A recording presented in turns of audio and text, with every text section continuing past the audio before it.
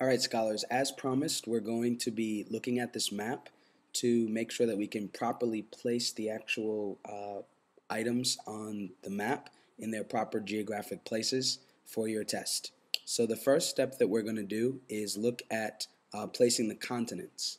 So the continents are simply large land masses um, of land. Alright, now that we know that, we'll get rid of the word continents.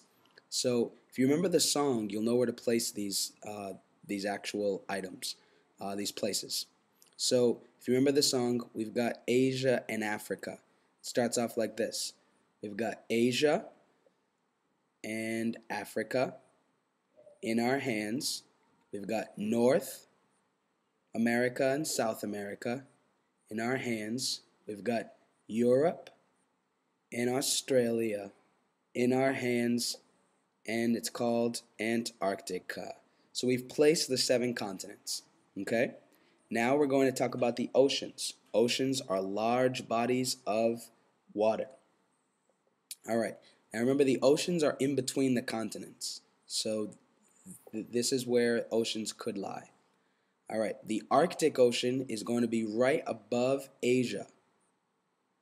And that's right next to Russia, where it's very cold and there's a lot of ice. So the Arctic Ocean is right at the top here. Next, we deal with the Atlantic Ocean. The Atlantic Ocean goes between which two continents?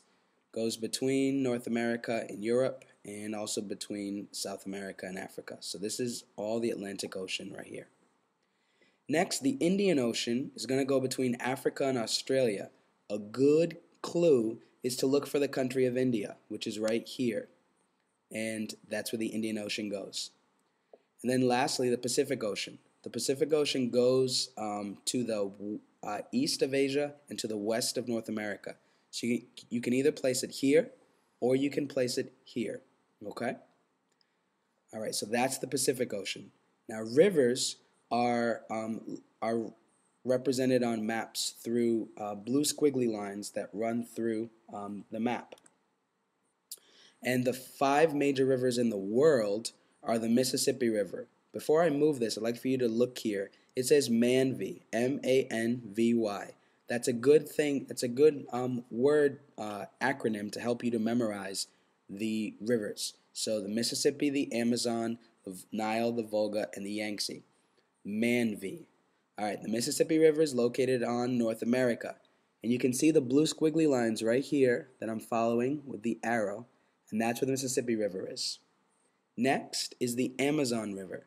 Amazon River is right below in South America. Amazon starts in um, Brazil and, and goes over towards the um, mountains over here.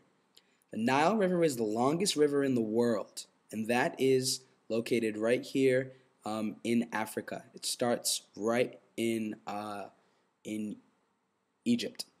Next is the Volga River and that actually splits between two continents, Europe and Asia. And then finally, the Yangtze River is right over here, and it's in China. So we've located all the rivers now. Now the mountains or, or mountain ranges are over here. All right. Now the anytime that you see a map with uh, with triangles, that will represent a mountain range, a bunch of triangles. Of a simple mountain will be uh, represented by one uh, triangle, dark triangle. All right, the Andes. The Andes mountain mountain ranges are mountain range is in South America. All right, and it runs right down here by Venezuela. Okay, um, and then over here we have the Himalayas. The Himalayas are located in in um, in Asia, and they're right right here, right by the Yangtze River.